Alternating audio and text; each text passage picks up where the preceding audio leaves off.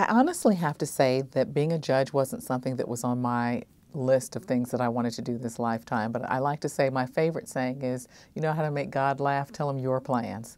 I think that uh, other people saw things in me that maybe I didn't even see in myself, and they thought that I was the kind of person that could be a great judge. And I was actually approached about becoming a judge.